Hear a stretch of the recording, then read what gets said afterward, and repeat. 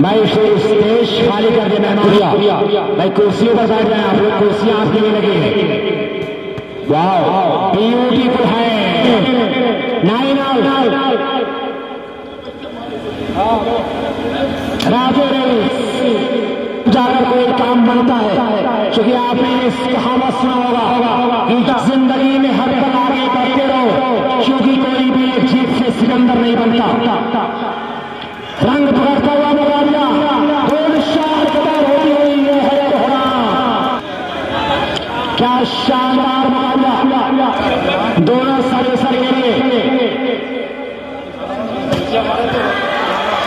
الحمد للہ سو روپے انعام سے لبن سلیس اور اس مرتبہ اسماعیل ہے۔ اگلا مقابلہ الفمیرا گار اسرائیل میں ہوگا بالکل تیار رکھے اپنے آپ کو۔